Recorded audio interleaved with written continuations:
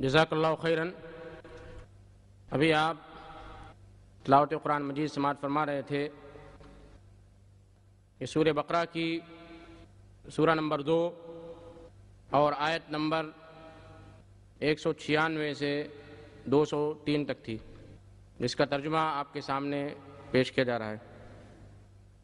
अल्लाह तबारक ताली फरमाता है, हज और उम्रे को अल्लाह के लिए पूरा करो। हाँ अगर तुम रोक लिए जाओ तो जो कुर्बानी मैसर हो उसे कर डालो। और अपने सर ना मुड़वाओ, जब तक कि कुर्बानी कुर्बान गाह तक ना पहुँच जाए। अलबत् तुम में से जो बीमार हो, या उसके सर में कोई तकलीफ़ हो तो उस पर फिदिया है। खा रोज़े रख ले, खा सदका दे, खा कुर्बानी करे। बस जब तुम अमन की हालत में हो जाओ तो जो शख्स उम्र से लेकर हज तक तमत्तो करे तो उसे जो कुर्बानी मैसर हो, उसे कर डाले। जिसे ताकत ही ना हो, वो तीन दिन रोज़े रखे, हज के दिनों में और सात वापसी में। ये पूरे दस हो गए। ये हुक्म उन लोगों के लिए है जो मस्जिद हराम में रहने वाले ना हों। लोगों, अल्लाह से डरते रहो और जान लो कि अल्लाह ताला सख्त अजाबों वाला है। हज के महीने मुकर्र हैं, इसलिए जो शख्स उनमें हज मुकर्र करे, वो अपनी बीवी से मेल मिलाप करने, गुनाह करने और लड़ाई झगड़े से बचता रहे। तुम जो नौकी करोगे, अल्लाह उससे बाखबर है। और अपने साथ सफ़र ख़र्च ले लिया करो। सबसे बेहतर तोशा तो अल्लाह का डर है। और इसे अक्लमंद मुझसे डरते रहा करो। तुम पर अपने रब का फजल तलाश करने में कोई गुनाह नहीं है। जब तुम अरफात से लौटो तो मशर हराम के पास ज़िक्र इलाही करो। और उसका ज़िक्र करो, जैसा कि उसने तुम्हें हिदायत दी। हालाँकि तुम इससे पहले भूले हुए और भटके हुए थे। फिर तुम उसी जगह से लौटो जिस जगह से सब लोग लौटते हैं और अल्लाह ताला से बख्शिश तलब करते रहो। यकीनन अल्लाह ताला बख्शने वाला मेहरबान है। फिर जब तुम अरकान हज अदा कर चुको तो अल्लाह का ज़िक्र करो जिस तरह तुम अपने बाप दादाओं का ज़िक्र किया करते थे, बल्कि इससे भी ज़्यादा। बाज़ लोग भी हैं जो कहते हैं अय हमारे रब, हमें दुनिया में दे। ऐसे लोगों का आखिरत में कोई हिस्सा नहीं। और बाज़ लोग वो भी हैं जो कहते हैं, अय हमारे रब, हमें दुनिया में नेकी दे और आखिरत में भी भलाई अता फरमा और हमें अदाब जहन्नम से निजात दे। ये वो लोग हैं जिनके लिए उनके अमाल का हिस्सा है और अल्लाह ताला जल्द हिसाब लेने वाला है। और अल्लाह ताला की याद इन गिनती के दिनों में, यानी अयाम तशरीक़ में करो, दो दिन की जल्दी करने वाले पर भी कोई गुनाह नहीं और जो पीछे रह जाए, उस पर भी कोई गुनाह नहीं। ये परहेजगार के लिए है और अल्लाह ताला से डरते रहो और जान रखो कि तुम सब उसी की तरफ़ जमा किए जाओगे। ये उन आयात का तर्जुमा था जो आप कारी साहब से समात फरमा रहे थे। मैं आज के इस ट्रेनिंग प्रोग्राम में तमाम भाइयों और माओ और बहनों का इस्तकबाल करता हूँ। सबसे पहले मैं आपके सामने जो प्रोग्राम है, उसकी तफसीर रखूँगा। प्रोग्राम का पहला हिस्सा जो तिलावत कुरान मजीद पर मुश्तमिल था, जिसे आपने समात फरमाया, उसके बाद प्रोग्राम का आगाज़, हज की फजीलत और उसके बुनियादी अहकाम से होगा। अल्हम्दुलिल्लाह रब्बिल वसलात वसलाम अला रसूल अमीन वाला आलिहि वसहबी अजमाइन। भाइयों और बहनों, अस्सलाम वालेकुम वरहमतुल्लाहि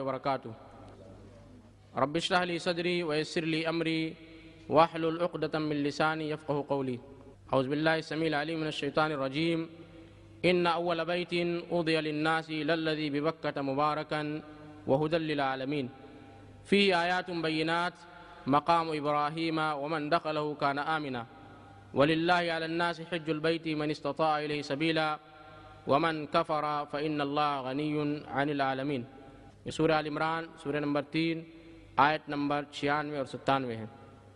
इस आयत का तर्जुमा यह है, यकीनन पहला घर जिसे अल्लाह तबारक ताली ने लोगों के लिए रखा, बनाया, वो मक्का में है, बाबरकत है वो घर, और सारे जहाँ के लिए हिदायत का ज़रिया है।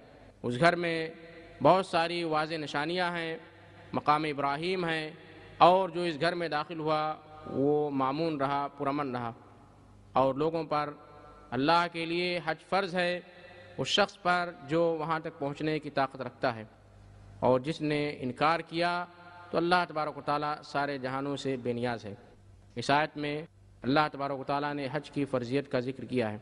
हज कहते हैं कि इंसान अल्लाह तबारक ताली के लिए मक्का का कस्त करे, तवाफ़ साई और हज के दीगर अहकाम और दीगर मनासिक के अदा करने की नीयत से। हज और उम्र ये दो चीज़ें हैं। जिसका ज़िक्र इन किया जाएगा। हज ये इस्लाम के पाँचों रुकन में सबसे आखिरी और बहुत ही अहम रुकन है। सन छः हिजरी या बाज़ा के नज़दीक सन नौ या दस हिजरी में ये हज फ़र्ज़ करार दिया गया। और ज़्यादा राज यही है कि सन नौ या दस हिजरी में हज की फ़र्जियत नाजिल हुई। हज की बहुत सारी फजीलत है। मैं आपके सामने उन अहादीस का ज़िक्र करूँगा जो अहादीस बुखारी और मुस्लिम में मौजूद है। सबसे पहली हदीस हज़रत अबू रज़ी तु से मरवी है। वो कहते हैं कि अल्लाह के नबी करीम सल्लल्लाहु अलैहि वसल्लम ने फरमाया, मन हज फ़लम यरफुस वलम यफसुक रजा कयोमिन वलदत उम्मू इस हदीस को इमाम बुखारी और इमाम मुस्लिम ने रवायत किया है। इस हदीस का तर्जुमा यह है कि जिसने हज किया और हज के दौरान रफस यानी बेहुदा गोई या बीवी से जमा से मुतल बातें नहीं की और ना कोई गुनाह किया तो वो इस तरह वापस होता है, जैसा कि उसकी माँ ने उसे जना है। यानी जिस तरह बच्चा जब पैदा होता है, वो सारे गुनाहों से आज़ाद होता है, मासूम होता है, उसी तरह वो शख्स जो हज के लिए जाता है और हज के दौरान बेहुदा गोई या बीवी से, जमा से मुतल गुफ्तु नहीं करता है, यानी इन सारी चीज़ों से परहेज़ करता है, इसी तरह जो फ़िस्क के काम हैं, यानी नमाज़ का तर्क करना ये फ़िस्क है, दाढ़ी का मुडवाना ये फ़िस्क है गिबत करना ये फ़िस्क है, इन सारी चीज़ों से परहेज़ करता है तो उस तरह ही वापस होता है, जैसा कि उसकी माँ ने उसे जना है, यानी गुनाहों से मासूम होता है। दूसरी हदीस जो हज की फजीलत से मुतल है, रावी आमर इबनलास है, इस हदीस की तखरीज इमाम मुस्लिम ने अपनी किताब सही मुस्लिम में की है। वो कहते हैं कि अल्लाह तबारक ताली ने जब मुझे इस्लाम की कबूलियत का शर्फ दिया तो मैं अल्लाह के नबी करीम वसल्लम के पास आया और मैंने अल्लाह के नबी करीम सल्लल्लाहु अलैहि वसल्लम से कहा कि अल्लाह के रसूल, आप अपना हाथ फैला दें, मैं आपसे बैत करूँगा। अल्लाह के नबी करीम सल्लल्लाहु अलैहि वसल्लम ने अपना हाथ फैलाया तो मैंने अपना हाथ खींच लिया, मैंने बैत के लिए अपना हाथ नहीं फैलाया। तो अल्लाह के नबी करीम सल्लल्लाहु अलैहि वसल्लम ने फरमाया कि अय अमर तुम्हें क्या हो गया है? तो अमर ने कहा कि, अल्लाह के रसूल, मैं बैत करने से पहले कुछ शर्त रखना चाहता हूँ, आपसे कुछ शर्त लेना चाहता हूँ। तो अल्लाह के नबी करीम सल्लल्लाहु अलैहि वसल्लम ने फरमाया कि तुम क्या शर्त रखना चाहते हो? तो अमर इबनास ने कहा कि मैं चाहता हूँ कि मेरी मफ़रत हो जाए। तो अल्लाह के नबी करीम सल्लल्लाहु अलैहि वसल्लम फरमाया कि क्या तुम्हें इस बात का इल्म नहीं है कि इस्लाम लाने के बाद उससे पहले के सारे गुनाह माफ़ हो जाते हैं और हिजरत करने के बाद हिजरत के पहले जो गुनाह होते हैं वो माफ़ हो जाते हैं और हज हज से पहले के गुनाह को ढा देता है, ख़त्म कर देता है। तो इन दोनों हदीसों से मालूम होता है कि हज मबरूर अगर अल्लाह तबारक ताली हज को कबूल कर लिया तो इंसान के पिछले सारे गुनाह माफ़ हो जाते हैं। औरतों के लिए हज की बड़ी फजीलत है। हज़रत आशा रज़ी तु से रवायत है। वो कहती हैं कि मैंने कहा, अल्लाह के रसूल, आप फरमाते हैं कि जिहाद सबसे अफजल अमल है तो क्यों ना हम जिहाद करें? हज़रत आयशा ने अल्लाह के नबी करीम सल्लल्लाहु अलैहि वसल्लम से ये सवाल किया कि चूँकि जिहाद सबसे अफजल अमल है तो क्यों ना हम भी जिहाद में शरीक हों? तो अल्लाह के नबी करीम सल्लल्लाहु अलैहि वसल्लम ने फरमाया कि तुम्हारे लिए सबसे बेहतरीन जिहाद हज मबरूर है। यानी औरतों का जिहाद हज करना है। इस हदीस को इमाम बुखारी और इमाम मुस्लिम ने रवायत किया है। एक हदीस आती है जिससे मालूम होता है कि हज का सवाब जन्नत है। इमाम बुखारी और मुस्लिम अबू रज़ी तु से रवायत करते हैं कि अल्लाह के नबी करीम सल्लल्लाहु वसल्लम ने फरमाया अलमरतुलमरती कफ़ारतलमा बैनमा वलहजमबरूर लईसलह जज़ाजन्ना उम्र से उम्र तक दोनों के दरमियान का कफ़ारा है। यानी एक उम्र दूसरे उम्र के दरमियान जो गुनाह होता है, उसके दरमियान का कफ़ारा है। और हज मबरूर का कोई भी बदला नहीं है सिवाय जन्नत के। यानी हज मकबूल का सिर्फ़ एक बदला है, वो जन्नत है। तो इसमें उम्र की भी फजीलत बयान की गई। इन सारी हदीसों से बात मालूम होती है कि हज की बड़ी फजीलत है। अल्लाह तबारक ताली अगर उस हज को कबूल फरमा ले तो हज से पहले जो भी गुनाह होते हैं, वो गुनाह हज के ज़रिए माफ़ कर दिए जाते हैं। हज की फ़र्जियत। हज इंसान की उम्र में सिर्फ़ एक बार फ़र्ज़ है। अगर फ़र्ज़ हज अदा करने के बाद वो हज के लिए नज़र करे तो नज़र करने की वजह से हज फ़र्ज़ हो जाता है। वरना इंसान पर उसकी उम्र में सिर्फ़ एक बार हज फ़र्ज़ है। उसके अलावा जो हज वो करता है, वो उसके लिए तत्व यानी नफली हज है।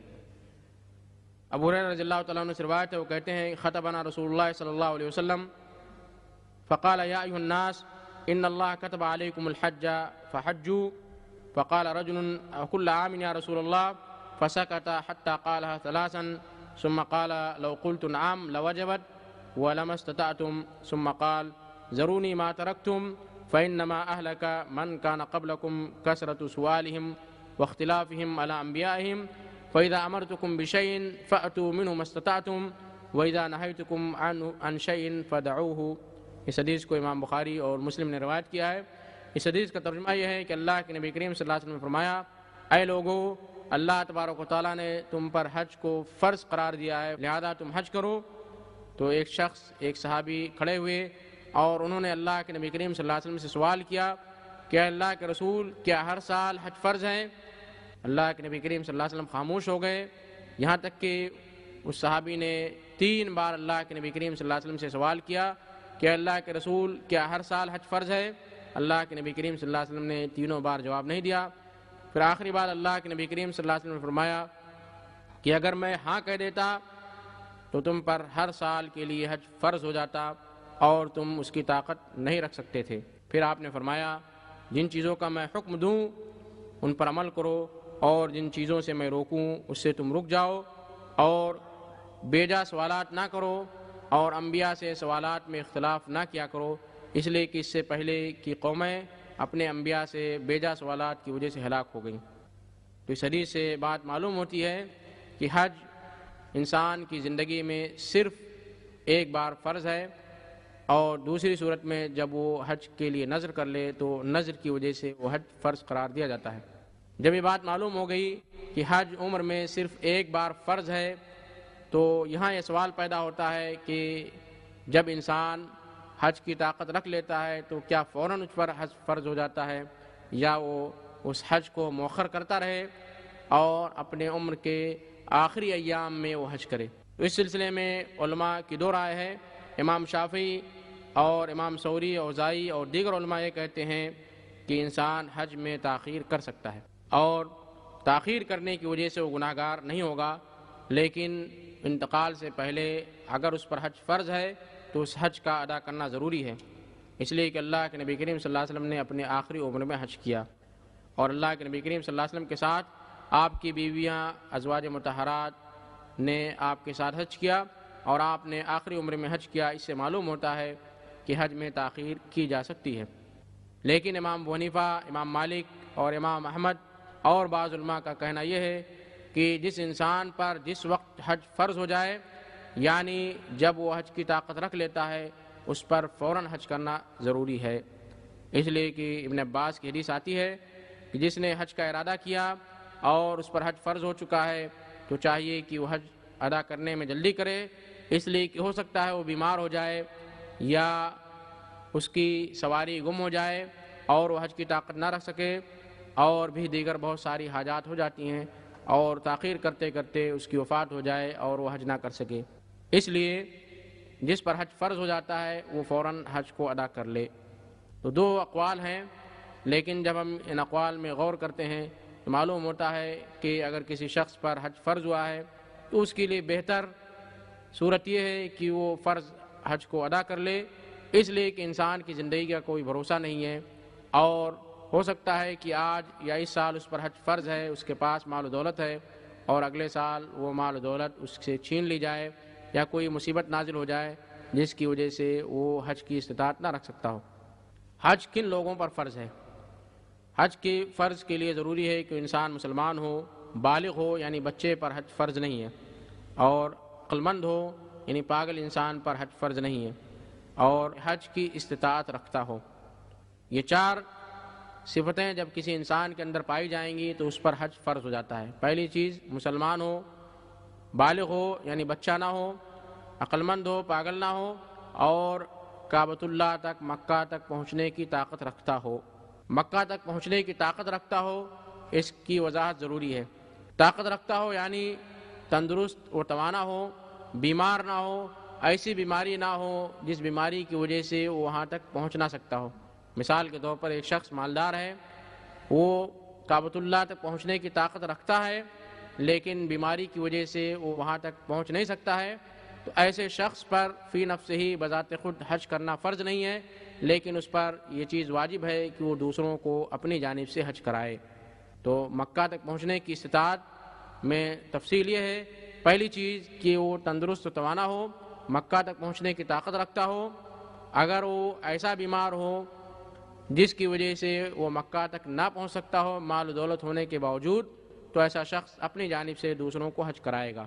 दूसरी शर्त यह है कि जिस रास्ते से वो सफ़र कर रहा हो रास्ता पुरअमन हो। उस रास्ते में उसकी जान और माल का ख़तरा ना हो। अगर किसी इंसान पर हज फ़र्ज़ हो, वो मक्का तक पहुँचने की ताकत रखता हो, लेकिन उसे रास्ते में जान और माल का ख़तरा हो, और उसे इस बात का खौफ हो कि अगर वो सफ़र करेगा तो रास्ते में डाकू या हालात पुरमन नहीं है, फसादात हैं, उन फसादात में उसकी जान जा सकती है, उसका माल लूटा जा सकता है तो ऐसी सूरत में उस पर हज फ़र्ज़ नहीं होता है। तीसरी शर्त यह है, तीसरी और चौथी शर्त, कि वो इतने माल दौलत का मालिक हो कि उस माल दौलत, उस पैसे से वो मक्का पहुँच सकता हो और मक्का तक पहुँचने के जो अखराज हैं, उन अखराज का मालिक हो। हज में जो अखराज होते हैं, उन अखराज का मालिक हो। और वापस आने तक उसके पास पैसा हो, उसे रास्ते में किसी से उधार या भीख मांगने की ज़रूरत महसूस ना हो। इसी तरह जिन बच्चों की कफालत उसके ज़िम्मे है माँ बाप या बीवी बच्चे, जिनकी कफालत उसके ज़िम्मे है, उन सारे लोगों की ज़रूरियात का इंतज़ाम कर सके और उसके इंतज़ाम से जायद उसके पास माल हो तो ऐसे शख्स पर हज फ़र्ज़ होता है। ऐसा नहीं कि इंसान के पास सिर्फ़ अखराज सफ़र हो किराए के पैसे हों, रास्ते में उसके पास खाने के पैसे ना हों, या अगर वो अपने अहलोयाल को, अपने बीवी बच्चों को छोड़ कर जा रहा है और उसके बीवी बच्चे मोहताज हो जाएँ तो ऐसी सूरत में उस पर हज फ़र्ज़ नहीं होता है। आखिरी शर्त यह है कि हज में जाने से कोई चीज़ माने ना हो। मिसाल के तौर पर, एक इंसान पर हज फ़र्ज़ है, लेकिन हुकूमत हिंद या दीगर हुकूमत की जानब से एक मखसूस कोटा मुतन है, जिस कोटे की वजह से उस शख्स का नाम हज में ना आ सका हो। तो ऐसे शख्स पर भी हज फ़र्ज़ नहीं होगा और ऐसे शख्स को मायूस नहीं होना चाहिए कि हज फ़र्ज़ हुआ और हुकूमत की जानब से मुझे रोक दिया गया, लिहाजा मैं गुनहगार हूँगा ऐसे मायूसी की या अपने आप को गुनहगार समझने की कोई ज़रूरत नहीं है। ऐसा शख्स जो वहाँ तक पहुँच सकता हो, रास्ता मामून हो और हज से जाने में कोई चीज़ माने ना हो, रुकावट ना हो, ऐसे शख्स के लिए हज फ़र्ज़ होता है, वरना उस पर हज फ़र्ज़ नहीं होगा। तो ये इस्तात में दाखिल है। यानी रास्ता पुरमन हो और हज के जाने में कोई चीज़ माने ना हो, यानी हुकूमत का जो कोटा है, उस कोटे में अगर आपका नाम नहीं आता है तो भी आप पर हज फ़र्ज़ नहीं होगा। जैसा कि मैंने ज़िक्र किया कि हज बालिग पर फ़र्ज़ होता है, बच्चे पर फ़र्ज़ नहीं है। तो क्या बच्चे हज कर सकते हैं या नहीं, ये सवाल पैदा होता है। बच्चे पर अगरचे कि हज वाजिब नहीं है, लेकिन अगर उसके माँ बाप उसे हज के लिए ले जाएँ तो माँ बाप को उसके हज का सवाब मिलेगा। और जब बच्चा बालिग होगा तो उस पर जो इस्लामी हज फ़र्ज़ होता है, वो हज फ़र्ज़ होगा। बचपन का हज उसके लिए काफ़ी नहीं होगा। वो ये नहीं कह सकता है कि बचपन में मैंने हज किया था, लिहाजा जो हज मुझ पर इस्लामी हज फ़र्ज़ है, वो हज मुझसे साकित हो गया। बहुत सारी हदीसें आती हैं, जिससे मालूम होता है कि साहब कराम बचपन की हालत में हज किया करते थे। इबिन अब्बास रज़ी अल्लाह से रवायत है, वो कहते हैं कि अल्लाह के नबी करीम सल्लल्लाहु अलैहि वसल्लम ने फरमाया, जिस बच्चे ने भी हज किया, फिर वो बलूगत की उम्र में पहुँच रहा है तो उसे दूसरा हज करना फ़र्ज़ है। साहिब इबन अजीद कहते हैं कि मेरे वालिद अल्लाह के नबी करीम सल्लल्लाहु अलैहि वसल्लम के साथ हजतुलविदा में हज कर रहे थे, मैं सात साल का था। इससे मालूम होता है कि बच्चे हज कर सकते हैं और उसका स्वाब उनके माँ बाप को मिलेगा, लेकिन बलूगत के बाद उसे हजतुल इस्लाम यानी इस्लामी हज करना होगा। इबन अब्बास रज़ी अल्लाह से है, वो कहते हैं कि एक औरत ने अल्लाह के नबी करीम सल्लल्लाहु वसल्लम के पास अपना बच्चा उठाया और कहा कि अल्लाह के रसूल, क्या इस बच्चे पर भी हज है? अल्लाह के नबी करीम सल्लल्लाहु वसल्लम ने फरमाया हाँ और तुम्हें इसका अजर मिलेगा। तो इससे मालूम होता है कि अगर किसी शख्स को अल्लाह तबारक ताली ने ये इस्तात दे रखी है कि अपने बच्चों को हज के लिए ले जा सकता है तो बखुशी उसे ले जाना चाहिए और उसे उस बच्चे के हज का भी सवाब मिलेगा और बच्चा जब बालग होगा और अगर वो मुस्तती होता है तो उस पर हज फ़र्ज़ होगा, वरना फ़र्ज़ नहीं होगा। तीसरी चीज़, औरत पर हज फ़र्ज़ है या नहीं? इस्लाम के सारे अहकाम मर्द और औरत दोनों के लिए यकसा है। नमाज़ जिस तरह मर्द पर फ़र्ज़ है, उसी तरह औरतों पर भी फ़र्ज़ है। लेकिन औरतों के लिए माह के चंद अयाम में नमाज़ साखित हो जाती है, जो उज़र शरई कहलाते हैं। इसी तरह हज में औरत के लिए एक जायद शर्त होगी। वो शर्त यह है कि हज के लिए महरम का होना ज़रूरी है। बकिया दीगर शर्त, यानी काबतुल्ला तक पहुँचने की शर्त, रास्ता पुरमन होने की शर्त, ये सारी शर्तें औरतों के लिए यकसा हैं। औरत के लिए एक जायद शर्त यह है कि जब वो सफ़र करे तो उसके साथ एक महरम हो इबन अब्बास रज़ी अल्लाह से है, वो कहते हैं कि अल्लाह के नबी करीम वसल्लम को फरमाते हुए मैंने सुना कि कोई भी शख्स किसी औरत से तखलिया ना करे, खलवत ना करे, मगर ये कि उसके साथ उसका कोई महरम हो और कोई भी औरत बग़ैर महरम के सफ़र ना करे। एक शख्स खड़े हुए, एक साहबी खड़े हुए और उन्होंने कहा, अल्लाह के रसूल, मेरी औरत हज के लिए जा रही हैं। हालाँकि मैंने फुला गजवे में शिरकत के लिए अपना नाम दर्ज कराया है रजिस्टर कराया है और मैं गजवे में जा रहा हूँ। मेरी बीवी हज के लिए जा रही हैं। अल्लाह के नबी करीम सल्लल्लाहु अलैहि वसल्लम ने उस शख्स को मना किया और कहा, तुम गजवा में ना जाओ, बल्कि अपनी बीवी के साथ हज के लिए चले जाओ। इस हदीस से मालूम होता है कि हज में महरम का होना ज़रूरी है। लेकिन बाज़ा के नज़दीक अगर रास्ता पुरअमन हो और मामून साथी मैसर हों तो ऐसी औरत हज के लिए जा सकती है। और उसकी भी दलील हमें सही हदीस में मिलती है। इमाम बुखारी ने अदी बिन हातिम से रवायत किया है। अदी बिन हातिम कहते हैं कि एक मरतबा में अल्लाह के नबी करीम वसल्लम के साथ बैठा हुआ था कि लोगों ने आपसे फ़ाक़े की शिकायत की कि अल्लाह के रसूल वसल्लम, हम लोग फ़ाक़े में मुबतला हैं, गरीबी आम हो चुकी है। फिर दूसरा शख्स आया और उसने कहा, अल्लाह के रसूल, रास्ता पुरमन नहीं है। रास्ते में लूट मार हो जाती है, चोरी हो जाती है।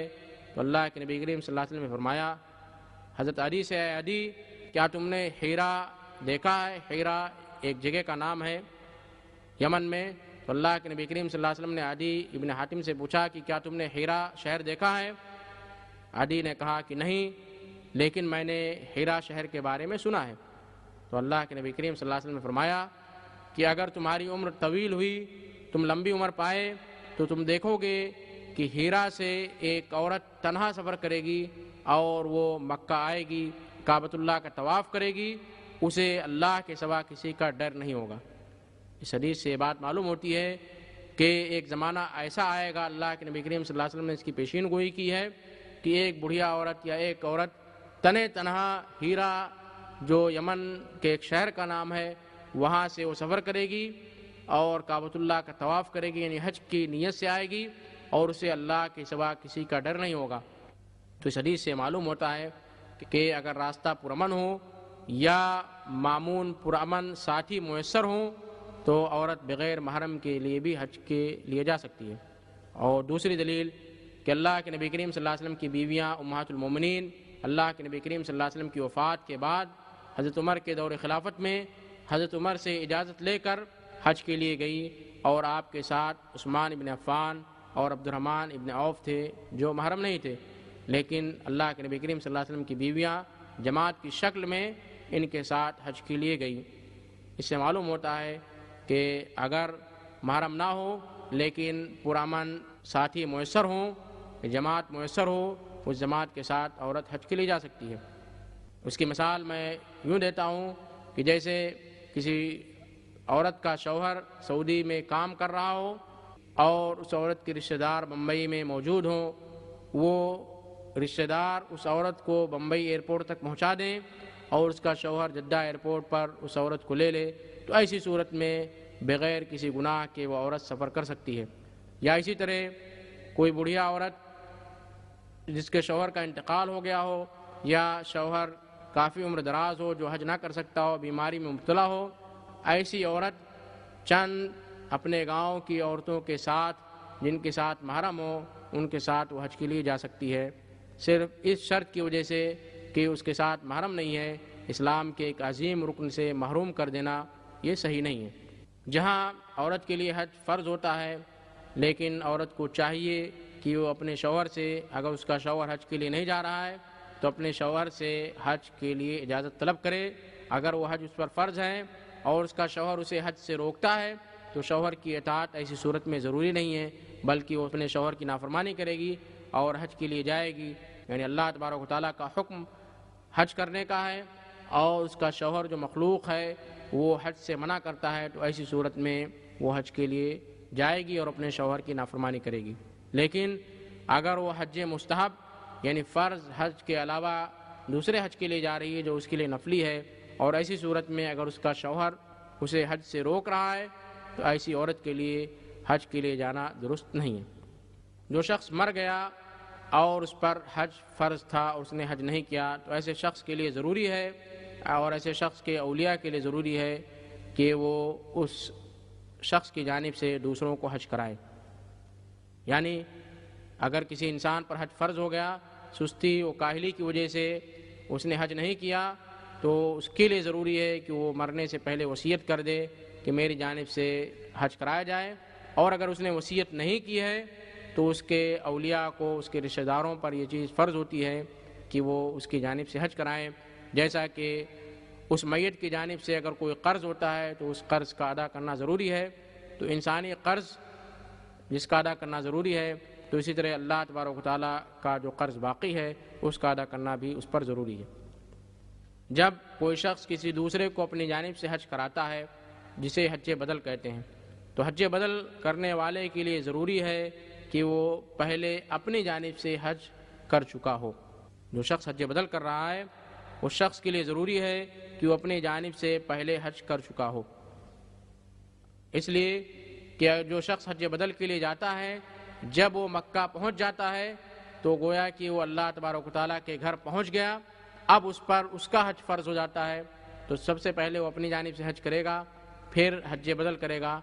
इसलिए जो शख्स किसी को हज बदल के लिए भेजना चाहते हों तो पहले ये तहकीक कर लें कि क्या उसने अपनी जानब से हज किया या नहीं।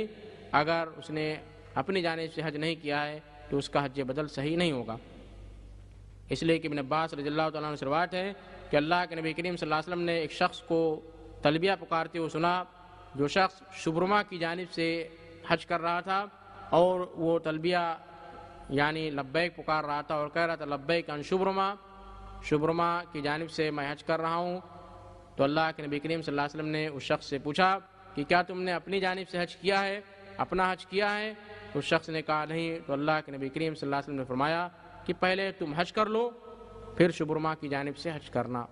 तो इस हदीस से मालूम होता है कि हज बदल करने वाले के लिए ज़रूरी है कि वो अपना हज पहले कर चुका हो। इसमें किसी किस्म का कोई इख्तलाफ नहीं है।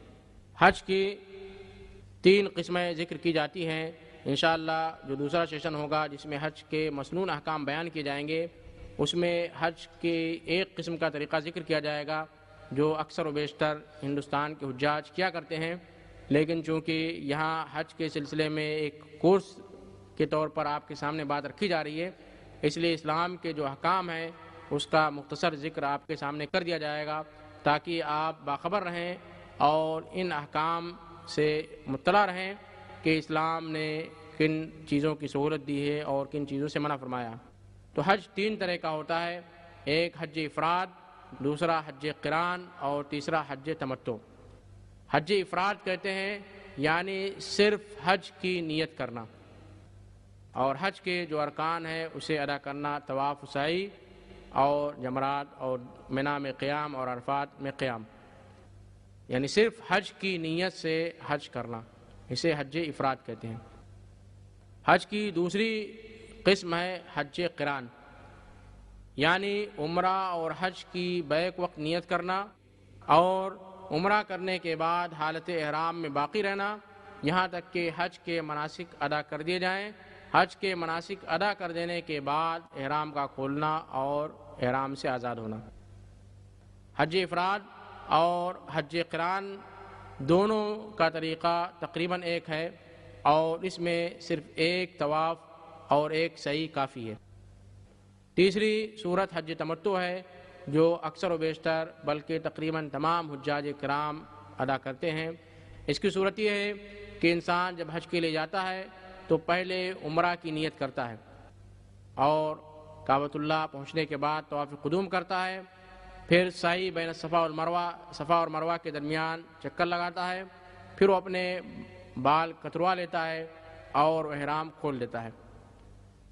उम्र करने के बाद वो नवी जिलिज्जा तक बग़ैर अहराम के अपने कपड़े में बाकी रहता है, यानी जो चीज़ें उसके लिए अहराम से पहले हलाल थी, बीवी से मिलना जुलना, सिले हुए कपड़े पहनना और दीगर जो चीज़ें उसके लिए पहले हलाल थी, उसी हालत में बाकी रहे।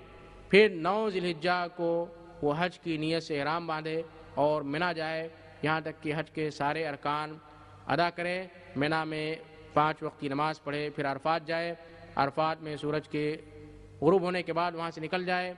फिर मुजदलफ़ा में क़्याम करे और जमरात करे, फिर हलाल हो। तो ये हज तमत्तो कहलाता है, जो अक्सर वेशतर हजाज किया करते हैं। जिसकी तफसील, मुकम्मल तफसील इन दूसरे सेशन में दी जाएगी। तो ये हज की तीन किस्में हैं। आपके इल्म के लिए इसका ज़िक्र किया जाता है। हज की इब्तदा मीक़ात से होती है। आपने मीक़ात सुना होगा, यहाँ से अहराम बांधा जाता है। मीक़ात दो तरह के हैं। एक है मीक़ात ज़मानी, यानी हज के अयाम हज के अयाम शवाल के महीने से शुरू होते हैं। शवाल ज़िकादा और हज के शुरू के दस दिन ये हज के अवकात कहलाते हैं। यानी जो शख्स हज तमत्तो करता है, अगर उसने रमज़ान में उम्र किया है तो रमज़ान के बाद शवाल में उसे हज तमत्तो के लिए उम्र करना ज़रूरी है। रमज़ान का उम्र उसके हज तमत्तो के लिए सही नहीं होगा। लिहाजा बहुत सारे हमारे वो भाई जो रमज़ान में उम्र की नीयत से जाते हैं और वापस नहीं आते हैं, हज करने के बाद वापस आते हैं तो ऐसे भाइयों पर हज तमत्तो की सूरत में रमज़ान के बाद शवाल के महीने या जिलकादा के महीने या जिलज्जा के महीने में हज के लिए हज तमत्तो के लिए एक उम्र करना फ़र्ज़ हो जाता है। तो रमज़ान का उम्र हज तमत्तो के लिए काफ़ी नहीं है। और हज के एहराम की नीयत रमज़ान से नहीं की जा सकती है। हज के अयाम शवाल से शुरू होते हैं, शवाल ज़िकादा जिलज्जा इन्हीं महीनों में हज के एहराम की नीयत की जा सकती है। और हज के जो अरकान हैं, यानी हज तमत्तो में उम्र इन्हीं अयाम में किया जा सकता है। उससे पहले के अयाम अयाम हज नहीं। है और इसी तरह इन अयाम के बाद हज की नीयत करना सही नहीं। है और इन अवकात के बाद हज भी सही नहीं है। ये मिकात ज़मानी है। मिकात मकानी, यानी जिस जगह से एहराम बांधा जाए, जिस जगह से हज और उम्र के लिए जाने वाले शख्स पर एहराम बांधना ज़रूरी है वो मुख्तलिफ़ हैं इसका मैं ज़िक्र करूँगा। चार जहत हैं, मगरब, मशरक़, शुमाल और जुनूब। मगरब, वेस्ट, और मशरक़, ईस्ट। शुमाल, नॉर्थ, जुनूब, साउथ।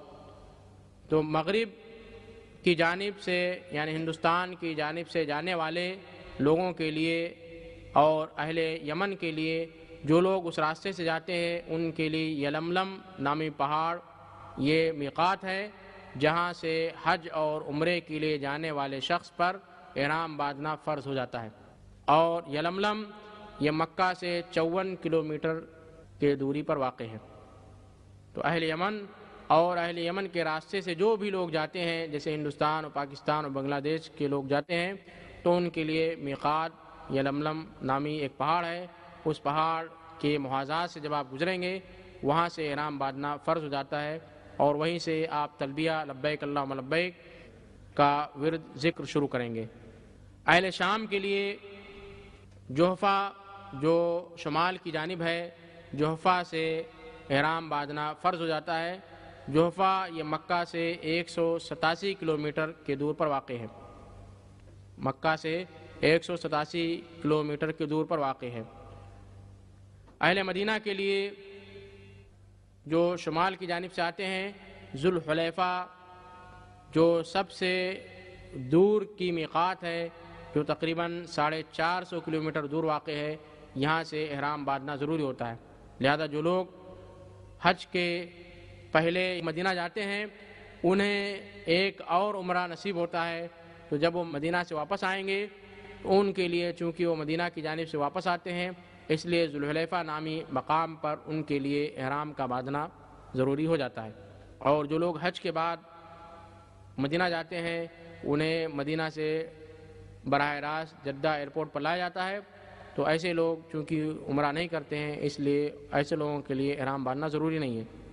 आखिरी मिकात जो ज़ात इर्क या करन मनाजिल है, जो अहल नजद के लिए है, जो जनूब की जानब वाक़ है, ये मक्का से चौरानवे या नाइन्टी फोर किलोमीटर दूर है।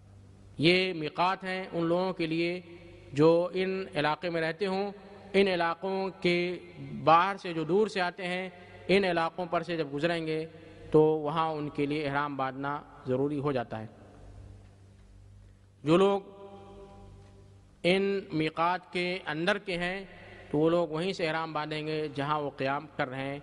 यहाँ तक कि अहल मक्का मक्का, यानी अपने घरों में एहराम बांधेंगे। इसके बाद एहराम किस तरह बांधा जाएगा और हज का मसनून तरीक़ा दूसरे सेशन में जो अभी शुरू होगा, ज़िक्र किया जाएगा। अब अगर इस सिलसिले में आप लोगों को कोई सवाल करना हो तो सवाल कर सकते हैं।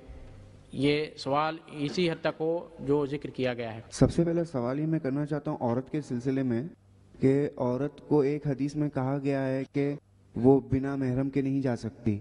और एक जगह कहा गया है कि वो महरम के साथ जा सकती है तो ये थोड़ा कॉन्ट्रडिक्ट कर रहा है एक दूसरे को। और मेरा दूसरा सवाल ये भी है कि अगर हम लोग घर से एहराम बाँध कर दो रकात नफिल अगर मस्जिद में पढ़ के तब निकले तो ये तरीका सही है या गलत?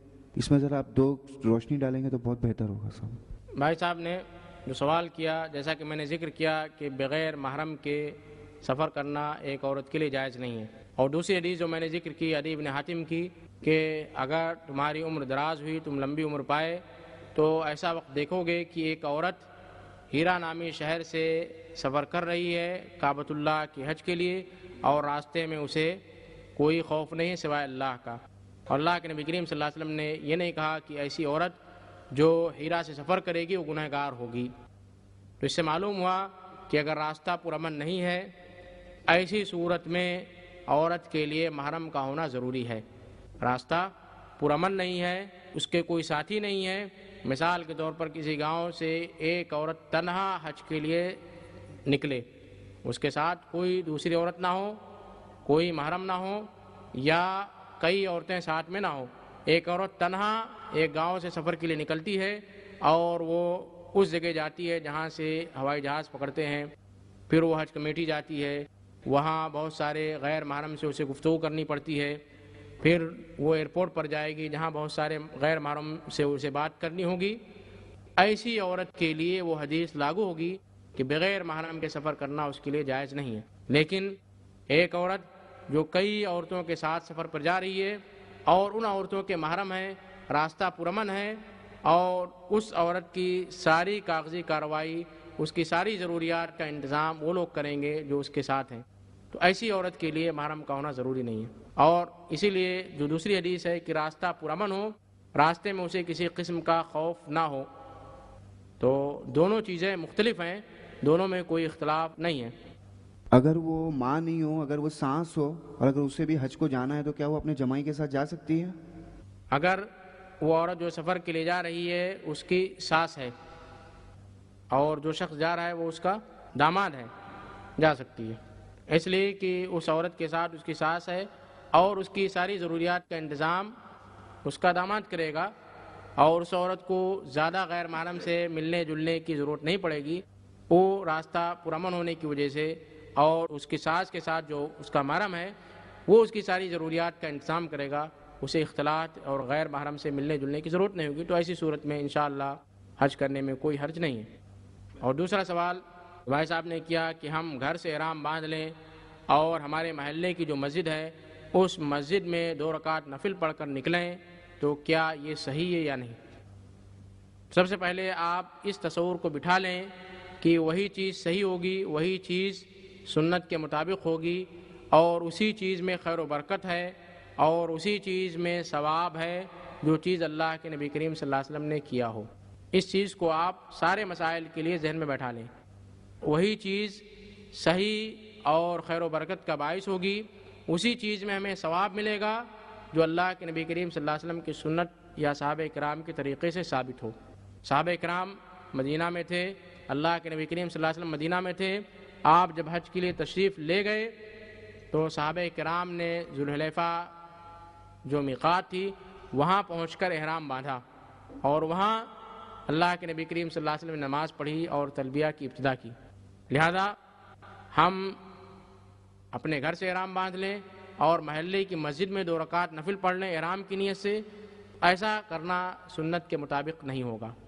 सुन्नत के मुताबिक है कि आप एहराम मिकात पर पहुँचने के बाद पहने। दुशारी होती है, जैसे कोई शख्स हवाई जहाज़ में जा रहा है और हवाई जहाज़ में जो ऐलान होता है, यलमलम नामी मकाम पर पहुँचने के चंद मिनट पहले और सारे हजाज बैक वक्त एहराम बांधने की इस्तात नहीं रखते हैं। ऐसे लोग एयरपोर्ट पर एहराम बाँध लें, लेकिन अपने आप को मोहरिम ना समझें। वो इस नीयत में ना रहें कि हम हालत एहराम में हो गए हैं, एहराम पहन लिए हैं, लिहाजा हम हो गए और तलबिया की इब्तदा कर दें। जैसा कि अक्सर व बेशतर लोग घरों ही से तलबिया की इब्तदा कर देते हैं तो ये सही नहीं है, बल्कि मिकात पर पहुँचने के बाद आप एहराम की नीयत करेंगे। अगरचे कि आपने कपड़ा पहले पहन लिया है लेकिन आपकी नीयत मुहरिम की नहीं होगी और मुहरिम के लिए जो चीज़ हराम है वो सारी चीज़ें आप पर हराम नहीं होंगी सिर्फ़ एहराम के दो कपड़े पहनने के बाद। बल्कि जब आप मिकात पर गुजरेंगे तो वहाँ से तलबिया पढ़ेंगे और आप असली मुहरिम होंगे वहाँ से जो चीज़ें आप पर हराम है वो चीज़ें हराम होंगी। महरम की एग्जैक्ट डेफिनेशन क्या है? बड़ा अच्छा सवाल है कि महरम किसे कहते हैं? महरम किसे कहते हैं? अक्सर बेशतर महरम के माने रिश्तेदार और करीबी रिश्तेदार को महरम कहते हैं। ये तस्वर रखते हैं। महरम कहते हैं, ऐसा मर्द ऐसा मर्द जिससे उस औरत का निकाह हमेशा के लिए हराम हो। वो शख्स महरम कहलाता है। हमेशा के लिए जिसका निकाह उस औरत से हराम हो। अगर हमेशा के लिए नहीं, आर्जी तौर पर हराम है तो ऐसा शख्स महरम नहीं होगा। जिसका निकाह हमेशा के लिए उससे हराम हो, ऐसा शख्स महरम कहलाता है। जैसे मिसाल के तौर पर, बाप अपनी बेटी के लिए महरम है और भाई अपने बहन के लिए महरम है, जिसका निकाह हमेशा के लिए उससे हराम हो। बहनोई अपनी साली के लिए महरम नहीं है। अगरचे कि वक्ती तौर पर उससे उसका निकाह हराम है, इसलिए कि बैक वक्त दो बहनों को एक शख्स की जरूरियत में रखना जायज़ नहीं है।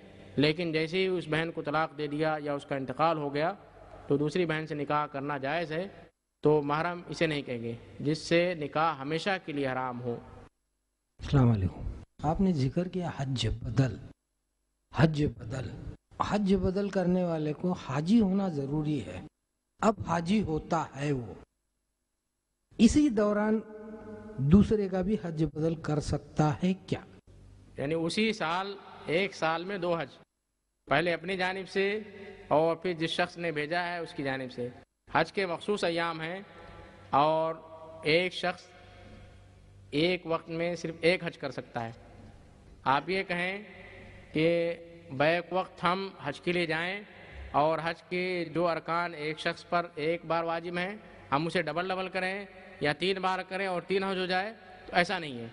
जो शख्स हज बदल के लिए गया है अगर उसने अपनी जानब से हज नहीं किया है तो हज उसकी जानब से हो जाएगा और हज बदल जिसने कराया है, उसे दोबारा हज बदल कराना होगा। इसलिए कि पहले उस पर हज फ़र्ज़ है जो वहाँ पहुँच गया। दूसरे साल वो हज बदल करेगा।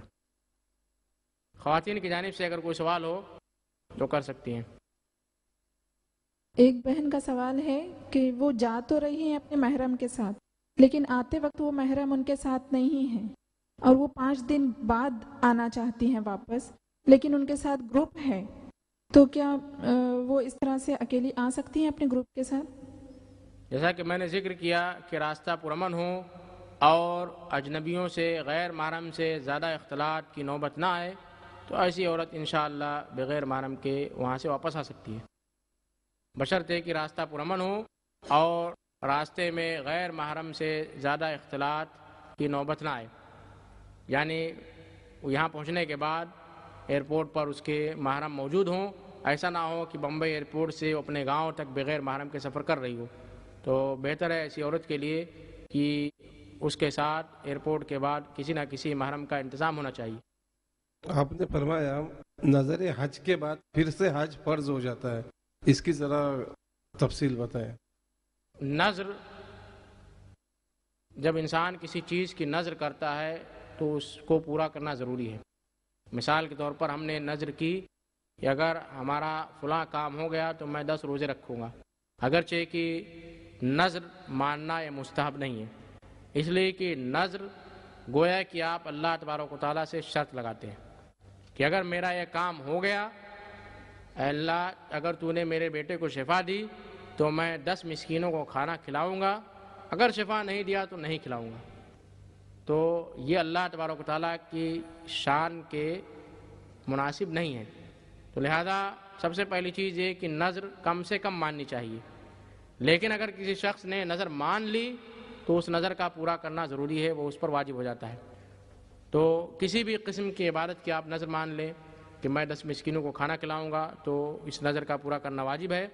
इसी तरह अगर आपने ये नज़र मान ली कि मैं आइंदा साल या अपनी उम्र में एक और हज करूँगा तो नज़र की वजह से वो हज आप पर फ़र्ज़ हो जाता है।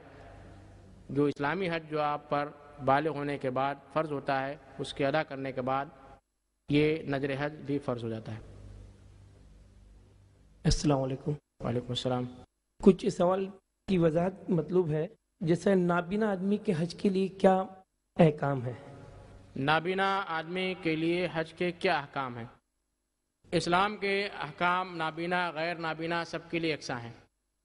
नाबीना शख्स अपने साथ किसी ऐसे शख्स को ले जाए जो उसकी रहनुमाई करे और वो सारे अरकान को अदा करे। लेकिन अगर वो सिर्फ़ खुद हज कर सकता है, दूसरे को नहीं ले जा सकता है और उसे इस बात का डर है कि वो हज के अहकाम अदा नहीं कर सकेगा, मनासिक अदा नहीं कर सकेगा तो ऐसा शख्स खुद नहीं हज करेगा, किसी दूसरे को अपनी जानब से हज करा देगा।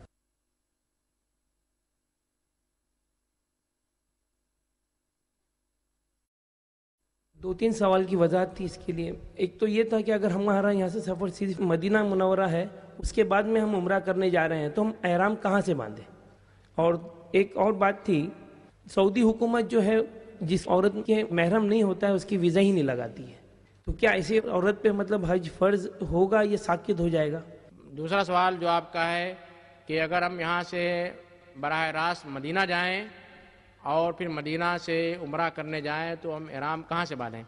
यहाँ से आप बरह रास्त अगर मदीना जा रहे हैं तो आप अहले मदीना का इहराम बांधेंगे। मदीना पहुँचने के बाद आप वहाँ मदीना में क़्याम करेंगे।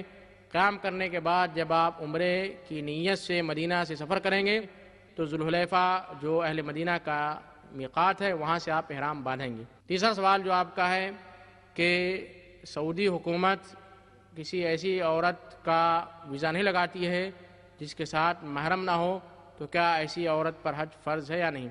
मैंने इस्तात में इसका ज़िक्र किया कि अगर हुकूमत के कोटे में अगर आपका नाम नहीं आता है, या किसी वजह से हुकूमत आपको हज से जाने से रोक देती है, या कोई ालिम बादशाह आपको हज नहीं करने देता है तो ऐसी सूरत में आप पर हज फ़र्ज़ नहीं है और आप गुनहगार नहीं होंगे। ख़वान की जानब से अगर कोई सवाल हो तो वो कर सकती हैं। किसी खातून की जानिब से क्या खातून को ही हज बदल करना चाहिए या कोई मर्द उनकी जानिब से हज बदल कर सकते हैं? ख़ातून की जानब से ज़रूरी नहीं है कि कोई ख़ातून ही हज बदल करे, बल्कि उसकी जानब से उसका शौहर या कोई दूसरा शख्स हज बदल कर सकता है। इसी तरह मर्दों के हज बदल के लिए ज़रूरी नहीं कि कोई मर्द ही हज करे बल्कि कोई औरत उसकी बीवी उसकी माँ या कोई भी उसकी जानब से हज बदल कर सकती है। तो एक दूसरे के बदल के लिए ज़रूरी नहीं है कि औरत औरत का हज बदल करेगी मर्द मर्द का हज बदल करेगा ये ज़रूरी नहीं है। अलैक्म वालेकुम। अस्सलाम। आपने कहा कि लमलम जो पहाड़ है तो जो मगरिब की तरफ़ से जो लोग जाते हैं जैसे हम लोग यहाँ से अहराम बाँध कर यहाँ से जाएँगे तो ये ज़रूरी है कि हम लोग वही सी पहाड़ से गुजरेंगे? ताकि वो जो मिखात की जो नीयत है, हम लोग घर ही से करके निकलें या जहाज़ में की जाए।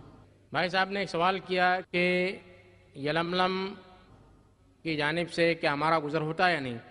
बहरी जहाज़ से जो लोग जाते हैं या जो जाते थे पहले दौर में, उनसे अगर आप पूछेंगे कि क्या घर से इराम बाँध कर जाया जा सकता है तो वो कहेंगे नहीं, इसलिए कि तकरीबन सात या आठ दिन उन्हें जहाज़ में रहना पड़ता था। इसलिए लोग बहरी जहाज़ में आराम बांधते थे, जब वो यलमलम के करीब पहुँचते थे और बाकायदा उसका ऐलान होता था और लोग आराम बाँध लिया करते थे। लेकिन जब आप हवाई जहाज़ के ज़रिए जाते हैं तो उस सूरत में उसके महाजात से, उसके बराबर से हवाई जहाज़ गुज़र होता है और बाकायदा उसका ऐलान भी होता है कि अब आप मिकात से गुज़र रहे हैं।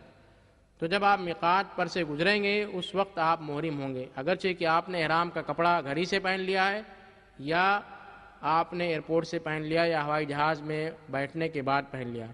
मोहरिम आप उसी सूरत में होंगे तलबिया आप उसी सूरत में इब्तदा करेंगे जब आप मिकात पर से गुजरेंगे। उससे पहले से आप तलबिया कहना शुरू कर दें अपने आप को मोहरिम कह लें ये दुरुस्त नहीं है। अस्सलाम वालेकुम। ये इस्लामी हज के लिए बच्चे की उम्र कितनी है? इस्लामी हज जो फ़र्ज़ होता है, मैंने ज़िक्र किया कि बाल होने के बाद उस पर हज फ़र्ज़ होता है। बुलूगत कब होती है, उसकी उम्र क्या है, उसकी हद क्या है? सबसे सही और राजे ये है कि जब मर्द को एहतलाम हो जाए अहतलाम आप लोग समझते हैं अहतलाम हो जाए तो वो बालिग हो जाता है।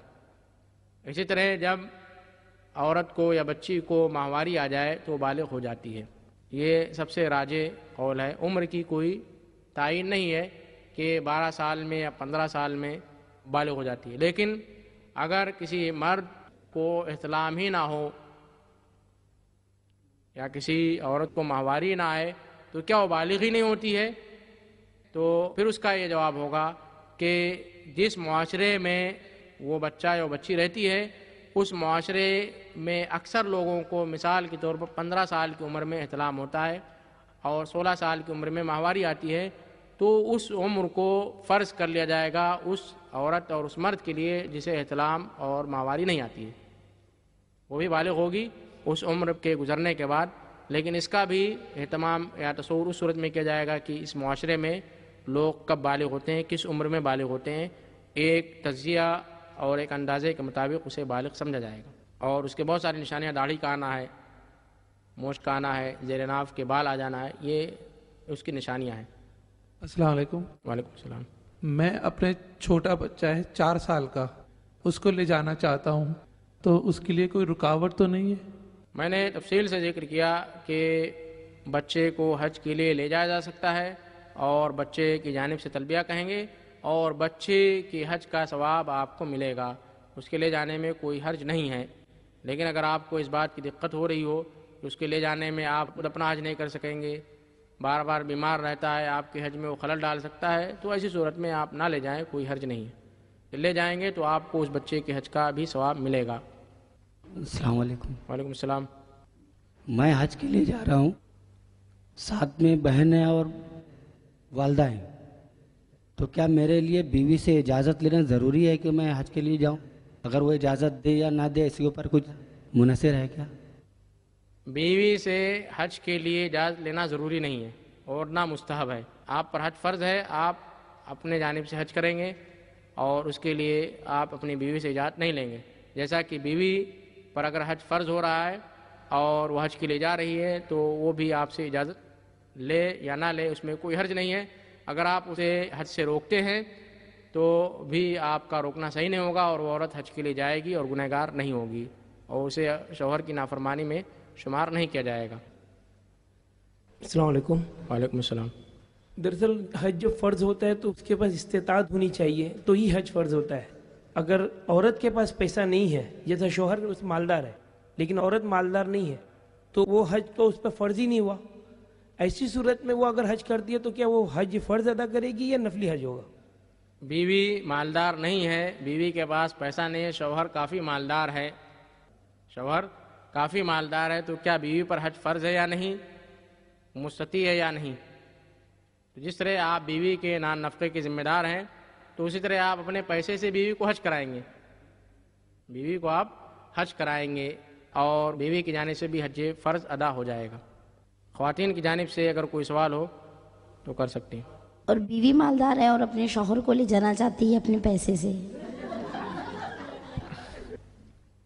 बीवी अगर मालदार हो, अपने शोहर को हज के लिए ले जाना चाहती है, एक वाक़ अल्लाह के नबी करीम सल्लल्लाहु अलैहि वसल्लम के दौर में आया, जैनब, जो शायद अब्दुल्ला इब्न मसूद की बीवी थी, उन्होंने अल्लाह के नबी करीम सल्लल्लाहु अलैहि वसल्लम से सवाल किया कि अल्लाह के रसूल, क्या मैं अपने शोहर को सदका दे सकती हूँ? अल्लाह के नबी करीम सल्लल्लाहु अलैहि वसल्लम ने फरमाया कि तुम्हें दो अजर मिलेगा, एक सिला रहमी का और दूसरा सदक़े का। तो लिहाजा ऐसी सूरत में सबसे पहले उस बीवी पर यह ज़रूरी है कि अपने शोहर को हज कराए और इन उसे उसका सवाब मिलेगा और ज़्यादा दोहरा सवाब मिलेगा इसलिए कि एक सिला रहमी एहसान का और दूसरा सदक़े का। तो अपने शोहर को अपने पैसे से हज करा सकती है और बेहतर है। अगर माँ बाप के पास पैसे नहीं है और बच्चे लोग अगर हज को अरेंजमेंट कर रहे हैं तो क्या सही है? माँ बाप के पास? पैसे नहीं है समझो हज करने को और बच्चे लोग अगर वो हज करा रहे हैं। भाई साहब ने एक सवाल किया, लेकिन अभी वो सवाल नहीं आया, जिस सवाल की तो मुझे सबसे पहले थी। वो सवाल मैं खुद करके आपको उसका जवाब दूँगा। भाई साहब ने सवाल किया कि माँ बाप के पास पैसे नहीं हैं, बच्चे उसके माँ बाप को हज कराना चाहते हैं तो क्या करा सकते हैं या नहीं करा सकते हैं? इसके बरक्स एक सवाल है कि क्या पहले माँ बाप को हज कराना फ़र्ज़ है, उसके बाद बच्चा अपनी जानब से हज करेगा? जैसा कि एक आम तस्वूर है कि कोई भी बच्चा जब तक उसने अपने माँ बाप को हज नहीं कराया है वह हज नहीं कर सकता है। ये एक आम तस्वूर है और लोग गुनाह तस्वूर करते हैं कि कोई बच्चा खुद अपना हज कर ले और उसके माँ बाप हाजी ना हो। ये सवाल मुझे पहले तो खुद ही के सवाल आएगा। तो पहला जो सवाल भाई साहब ने किया है कि अगर बच्चे माँ बाप को हज करा रहे हैं तो क्या करा सकते हैं या नहीं करा सकते हैं? ये सवाल है। तो अगर बच्चे अपने माँ बाप को हज करा रहे हैं तो बच्चा चूँकि मुस्तती अपने माँ बाप को बना रहा है, इसलिए माँ बाप मुस्तती हो जाएँगे और उन पर हज फ़र्ज़ हो जाएगा और वो हज करेंगे। इसी तरह अगर बच्चा खुद अपना हज कर ले रहा है माँ बाप को हज नहीं करा रहा है तो ये भी जायज़ है। ऐसा तस्वूर करना गलत है कि जब तक माँ बाप को हज नहीं कराया गया है, खुद हज करना जायज़ नहीं। ये तस्वूर सही नहीं है। इसलिए कि आप फ़र्ज़ कर लीजिए कि अगर आपके माँ बाप नमाज़ ना पढ़ते हों तो क्या आप भी नमाज़ नहीं पढ़ेंगे? या नौज़बिल्ला माँ बाप काफिर हों तो क्या आप भी कुफ्र में बाकी रहेंगे या इस्लाम लाएँगे? तो माँ बाप का हुक्म अलग है और आपका ज़ाती हुक्म अलग है। तो आप खुद हज कर सकते हैं खा आप उन्हें माँ बाप को हज कराएँ या ना कराएँ। और इस तरह कि आप पहले अपने माँ बाप को भेज दें, फिर हम बाद में जाएँगे, ये भी जायज़ है, दुरुस्त है। आखिरी सवाल ख़वान की जानब से होगा, अगर सवाल हो, वरना फिर भाइयों की जानब से। हम हज करने जा रहे हैं। कि हमारे दामाद और बेटी को भी बोले थे चलने के लिए, लेकिन किसी वजह से वो लोग नहीं आ सके। तो क्या हम लोग पे फ़र्ज़ है अभी वो भेजना? नहीं। आप हज के लिए जा रहे हैं। आपने अपने बेटी और दामाद को दावत दी कि हमारे साथ हज के लिए जाइए, और उन्होंने किसी मजबूरी के तहत इनकार किया, नहीं जा रहे हैं। तो दोबारा आप पर यह फ़र्ज़ नहीं होता है कि आप अगले साल उन्हें हज के लिए भेजें। इसलिए कि बेटी और दामाद को हज कराना यह आप पर फ़र्ज़ नहीं है। आप उन्हें अपने साथ हज के लिए ले जा सकते हैं और हज करा सकते हैं। लेकिन अगर वो किसी वजह से इस साल नहीं जा रहे हैं तो आप पर यह फ़र्ज़ नहीं होता है कि आप अगले साल उन्हें हज कराएँ। अल्लाह तबारक ताली से दुआ है कि अल्लाह तबारक ताली हमारे अमाल को कबूल फरमाए। वाखर दावाना अलहमदिल्ला रबालमीन दूसरा सेशन शुरू होता है। मैं जनाब डॉक्टर आर के साहब को दावत देता हूँ कि वह आएँ और हज के अहकाम मसाइल और उसका मसनून तरीक़ा बयान फरमाएँ। अल्लाम वरहमल वर्का